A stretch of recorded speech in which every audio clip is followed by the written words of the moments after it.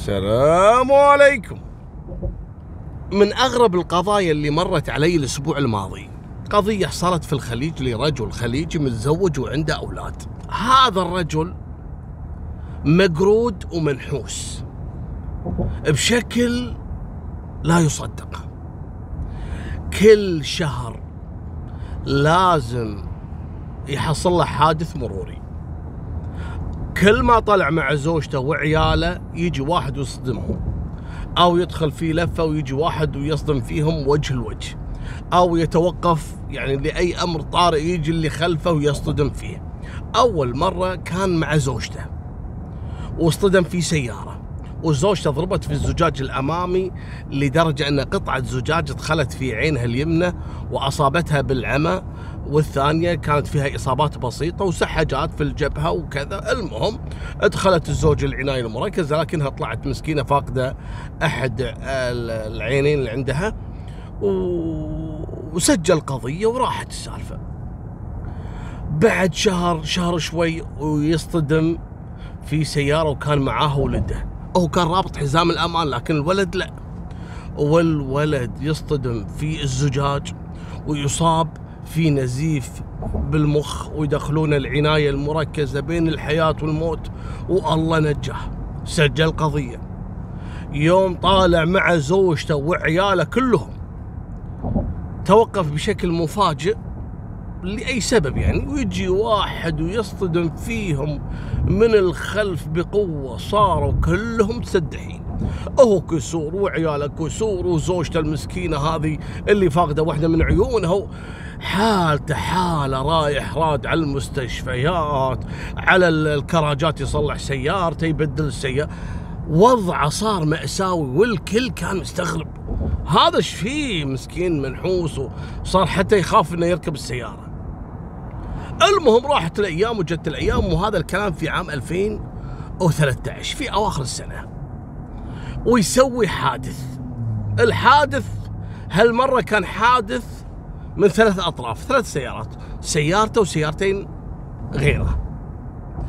قام واحد فيهم من الأطراف الثلاثة واشتكى واشتكى شكوى غير موضوع الحادث. قال أنا أتهم هذا الرجل بأنه تعمد انه يقع الحادث من خلال تصرفاته في السيارة وكذا. أنا كنت أراقبه وكنت خلفه ولما أصطدم في السيارة اللي أمامه أنا اصطدمت فيه. لأني من البداية وكنت أشوفه يعني لا يروح يمين يسار يحاول. أنا شاك فيه أنا شاك إن هذا كان يحاول إنه يتعمد إنه يقع حادث مروري. الشكوى هذه يعني رجال الأمن استغربوا يعني قالوا أنت يعني إيش؟ يعني إنه هو تعمد يسوي حادث ومع زوجته وعياله وكذا معقوله؟ قال إيه أنا أنا شاك بالموضوع هذا لأن الأمر ما كان طبيعي ما كان الحادث صدفة مستحيل. أعطاهم بعض الملاحظات وشلون هو شاك فيه وكذا. هم رفعوا القضية وبدأوا يحققون مع الرجل جابوا قالوا تعال يبا الرجل مشتكي عليك إنك أنت عمدت تسوي الحادث. قال يعني شلون أنا أتعمد؟ معاي زوجتي وعيالي وكذا. قال والله هذه شكوى إحنا لازم نحقق فيها. المهم صاروا يبحثون إن هذا هل إذا كان فعلا متعمد؟ يعني أكيد كان يمارس هذه الشغلة يعني أكثر من مرة. لما شيكوا ولا فعلا هذا عنده عدة قضايا سابقة مشابهة لنفس الحادث. لا المصيبة الأكبر والصدمة. لما اكتشفوا أن هذا الرجل اللي دائما يتسبب في الحوادث أو اللي دائما يتعرض للحوادث كان دائما يسجل وثيقة تأمين على الحياة والتأمين اللي هو يسمونه تأمين السيارات وكذا. إذا حصل أي حادث أو أي إصابات يتم تعويضه. لما شيكوا مع شركة التأمين ولا الحبيب شغال عليهم مضبوط. شلون؟ لما رجعوا لأنك صار شو يسوي؟ كل حادث وياخذ منه تأمين لما يتعرض للإصابات ويجيب التقارير وكذا وياخذ من شركة التأمين اللي تأمن على حياته وتأمين على أفراد أسرته مثلا اللي معاه في السيارة ويصلحوا له السيارة ويثمنونها له وكذا. يروح بعد الحادث هذا يأمن في شركة ثانية علشان الشركة التأمين ما تشيك عليه تشوفه هذا مرتين ماخذ تعويض يعني معقولة يشتكون عليه. فصار يتنقل من شركة تأمين إلى أخرى. وكان يتعمد باعترافاته كان يتعمد إذا بيسوي حادث ياخذ زوجته أو ياخذ عياله. لأن زوجته في أول مرة أصيبت إصابات فادحة وصار فيها عاهة مستديمة في العين وأعطوه تعويض قوي. فما قدر ياخذها معاه بالحادث الثاني. طبعا زوجته وعياله ما يدرون شو السالفة. يحسبون إن أبوهم عبيط ولا ما يعرف يسوق. لا طالع هذا الحقير شغال حوادث ويتعمد إنه يصابون في الحادث علشان ياخذ تعويض من التأمين وكان دائما يربط حزام الأمان. مالكم بطوي أحالوه التحقيق وحكموا عليه بالسجن 14 سنة وبعدين تم تخفيض الحكم وخذوا منها قامت الشركات كلها اللي دروا في الموضوع واستدعوهم كلهم رفعوا قضايا علشان يستردون من عند المبالغ اللي أخذها كتعويض أو كتصليح آه للسيارات. لكن ما هي قصة الليلة. أنا آسف أسوي فيكم الحركة هذه لكن أحب أعطيكم أكثر من قصة في فيديو واحد. القصة يسولف لي إياها عميد كان مدير مركز شرطة في عام 77 في الأردن. يقول كان عندنا عسكري. هذا العسكري آه نعطيه سلاح في ذاك الوقت. إنه دائما يحمل معاه سلاح نفس البندق و... وفي راس البندق فيها نفس الحربة أو السكين. وياخذه معاه دائما ويجي بدوامه معاه سلاح كان هذا النظام أول. الآن لا الأسلحة دائما الكبيرة يسلمها مركز عمل قبل لا يروح البيت. أول لا هذه عهدة عنده وخلاص. وكان في وقت فراغه شو يسوي؟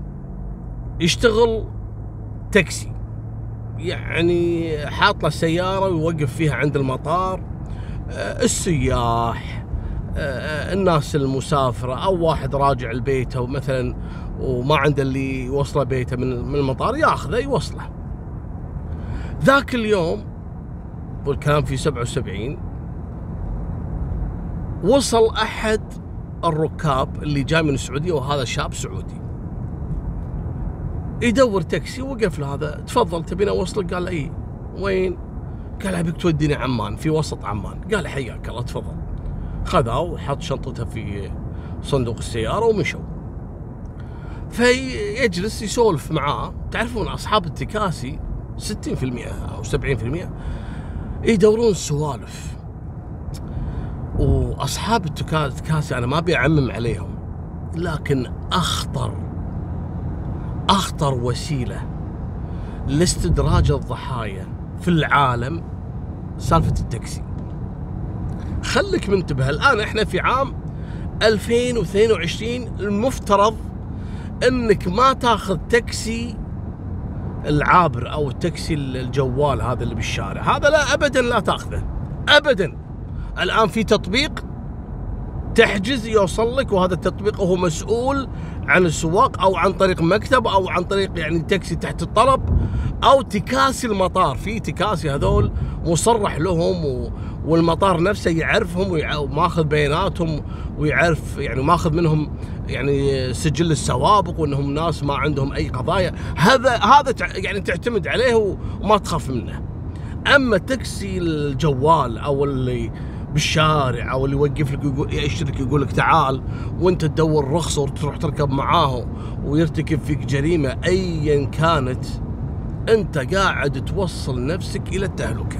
انتبه ليش؟ أنا ما أقول لك فقط إن هذا مثلا ممكن يقتلك لا أو يخطفك لا. هذا ممكن يحط لك بلا ممكن آه، يعطيك شيء يعني آه، يخليك تتعاطى. ولا يرش عليك مادة مثلا. هذا ممكن يوديك إلى مكان موجود فيه عصابات ويسلمك لهم ينصب عليك يوديك فندق كله حرامية. هذا ممكن يضيعك يضيع يعني فهمت شلون؟ فاعتمد دائما على التاكسي اللي يكون معروف عند الجهة اللي أنت تاخذ منها من المطار تكاسي المطار. تبي يوصل لك للبيت عندك تطبيق عندك آه، تتصل تليفون على الأقل الشركة اللي أنت تاخذ منها التاكسي تكون هي المسؤولة عنه. مالكم بالطويلة هذا قال يلا حياك حياك. جلس يسولف معاه ها أنت من السعودية؟ قال إي نعم حياك الله يا مرحبا وكذا. إيش عندك في الأردن؟ وهني الخطأ إنك تفتح قلبك حق صاحب التاكسي أو حتى حق الحلاق انتبه أو مات الصالونه هذه شفت الصالونه لا تفتحي لها قلبك. اللي تقولي له ترى يوصل. أنا بعطيك مياه اشكره قام يسولف حق راعي التاكسي. والله أنا عندي فلوس وجاي بشتري لي قطعة أرض وأنا سمعت إنه كذا والأراضي رخيصة وفي فرصة للتجارة وكذا. يسولف معاه وأنا دائما أجي هني وأشتري مرات سيارة وأجيبها للمملكة من هالسوالف. أو يطمع فيه. المهم وياخذه إلى أحد الطرق اللي الفاضية. طبعا في 77 ما هي مثل الآن عمان. الآن ما شاء الله في كل مكان تشوف كاميرات دوريات ناس بشر محلات مجمعات. في زمان لا طرق فاضية. يعني تحوفك يمينك ويسارك الأشجار. وأنا أذكر يعني. أنا رايح لها يعني يعني على فترات يعني متغيرة يعني مو نفس الآن. أو ياخذه إلى أحد الطرق ما في أحد وقال له شوي بس أنزل. بعد إذنك بروح يعني نداء الطبيعة. قال أوكي. نزل. وهو راجع فتح صندوق السيارة طلع سلاحه ويجيه من ورا يفتح الباب ويطلق عليه النار أو يقتله أو يسحب جثته ويدفنها. ويسرق الشنطة اللي عنده واغراضه ومعاه فلوس فعلا ويروح. ولا كأنه صاير شيء. غنيمة كانت سهلة جدا جدا. ولا حد انتبه ولا حد يدري بالموضوع ولا في شوها المهم وتروح الأيام وتجي هذا الولد الشاب السعودي اللي انقتل من عائلة معروفة وعنده عيال عم وجماعتك يعني كثار وكذا وناس ما هي هينة يعني. بعد ما فقدوا ولدهم صاروا يبحثون ويدورون يدرون إنه رايح الأردن لكن انقطعت اتصالاته وأخباره. قاموا يجون للأردن يدورون عليه. عفسوا الأردن عفاس. ما خلوا مكان. القبيلة كلها تمشى من المطار للمستشفيات. انشروا صور والعالم كلها تسمع فيه ويبحثوا معاهم رجال الامن بدون أي فائده يدرون إنه وصل ودخل فعلا إلى آه الأردن لكن وين راح؟ ما يدرون. المهم المجرم دائما إذا ما تم إلقاء القبض عليه من أول جريمة يتمادى يتمادى ويصدق نفسه ويحس إنه هو ذكي وفطن ويقدر إنه يعني يهرب بسهولة من أعين رجال الأمن. فيتجرأ إنه يرتكب جريمة أخرى. وفعلا هذا استمر. وهو أصلا رجل أمن. ويعرف الوضع ولما تحصل جريمة هو يرتكبها توصل له الأخبار وما حد يشك فيه.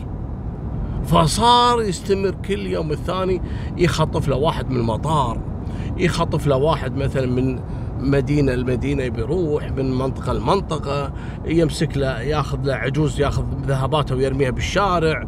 وهذا شغال عليهم. وتجي البلاغات لكن ابدا ما حد قدر إنه يكشف هويته إلى أن جاء يوم من الأيام. هذا كان معاه واحد من أصدقائه. كذلك الصديق هذا صديق منحرف يعني. هم أصدقاء تعاطي وأصدقاء خراب. وسرقات ونصب يعني. صاروا يمشون مع بعض بهالموضوع. يوم من الأيام ويشوفون شاب يتمشى بسيارته مع خطيبته. الكلام هذا يعني قول 78 78 يوم شافوه يتمشون وراه. قال له إيش رايك إذا وقفوا لأن شافوهم رايحين إلى طريق زراعي. ما هو طريق إلى المدينة. قال هذول الظاهر يدورون لهم مكان هدوء عشان ياخذون راحتهم ويسوون لهم جو رومانسي. إذا وصلوا نطيح عليهم. قال له okay. وإذا طحنا عليهم نخطف البنت من الولد. قال له يلا أكيد أكيد. المهم يتمشون وراهم ينتظرون لين فعلا هذا خذاه إلى أحد المزارع كبيرة وكذا مكان يعني وما شاء الله الأردن كلها كلها أشجار وكلها نباتات وحدائق ومزارع يعني. المهم شاف لهم مكان حلو على طلة الجبل. وفرش هو خطيبته وحط الأكل والحلويات وجلس يعني مسوي نفسه يعني هايدي مع شو اسمه. المهم شوي ولا جايهم أهل العسكري طبعا العسكري يلبس مدني. أو ينزل لهم بالسلاح ويحط السلاح على راس الولد. قال له ولا كلمة. ويجي صاحبه ويربطه. والبنت دخيلك دخيلك الله يخليك. قال له ولا كلمة. يوم ربطوا الولد تربيطة محترمة أو ياخذونه ويحطونه في صندوق السيارة. والثاني ماسك البنت. يوم خلاص سيطروا على الولد ويرجعون حق البنت وعلشان يقدرون يسيطرون عليها مضبوط قاموا وربطوا إيدينها لفوق على شجرة. وصاروا يعني ينزعوا لها ملابسها. والبنت تصرخ وتحاول وكذا قام جاب لها السلاح والسلاح في راس السلاح أقول لكم الحربه أو السكين هذه. وجاب السكين حطها قريب من وجه البنت قال لها والله إذا بتصرخي ولا بتعلي صوتك راح أشوهك بالسكين هذه. وتقوم البنت على غفلة. أو تضرب السلاح. تضربه برجلها. يعني تبي توخر عن وجهها يعني؟ وهذا سلاح طويل وراس الحربة اللي هو السكين هذا حاط على وجهها وتقوم وهي ترفس السلاح. أو تضرب السكين وجه العسكري هذا. أضربته وين؟ أضربته على أنفه وعلى شفته. وتسوي فيه جرح قطعي ابن أخته. خلته ينزف ويطيح على الأرض يصرخ يصرخ وصاحبه يجي يضرب البنت بطرف السلاح يضربها على راسها لين أغمى عليها. خلاص اعتقد إنها ماتت لأنه ضربها ضربات قوية جدا على راسها. وخذ صاحبه العسكري وطار فيه للمستشفى. دخلوه وكذا ورجع مرة ثانية للسيارة. يوم فتح صندوق السيارة ولا الولد هذا مختنق وميت. حاكرينه صار الحين كم ساعة ورايح فيه للمستشفى وراد وبعدين تذكره ولا ميت. ويروح ويرميه عند أحد الوديان في أطراف عمان ويتخلص منه. المهم هذاك العسكري إيش فيك وش قصتك؟ وشنو هالجرح يسالونه في المستشفى؟ قال لا والله كنا إحنا نصيد وكذا و... وأنا سحبت السلاح كذي بالغلط وسلاح فيه السكين وضربت نفسي على أنفي. سووا له عمليات وعلى أنفه وعلى شفته. المهم اعثروا بعدين على جثة الولد في أحد الأودية لكن ما عرفوا شنو القصة.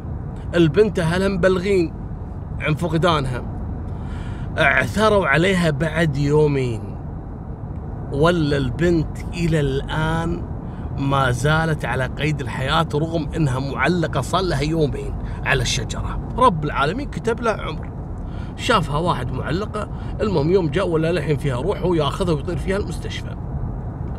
دخلت للعناية المركزة لمدة ثلاث أسابيع إلى أن صحت وبعدين سألوها وانت منو شنو قصتك وكذا أو قالت لهم أنا كنت مع خطيبي خطيبي اسمه فلان الفلاني يشيكون عليه ولا هذا اللي لقوا جثته قبل كم يوم.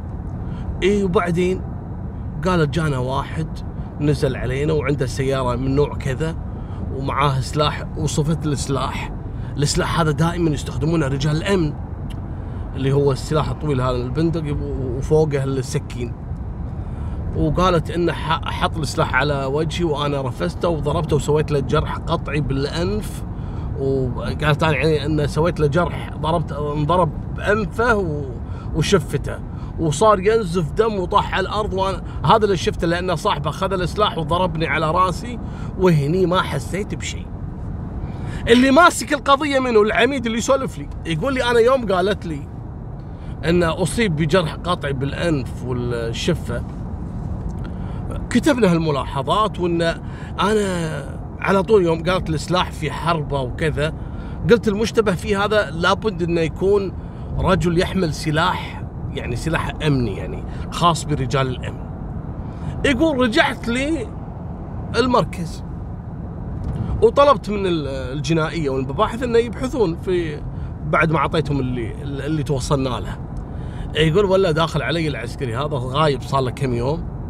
ها وينك انت؟ عسى ما شر صار لك فترة غايب. قال والله أنا آه، كنت تعبان وكذا ومريض وصار فيني جرح. يقول ولا الجرح بالأنف والشفة. يقول أول ما شفته.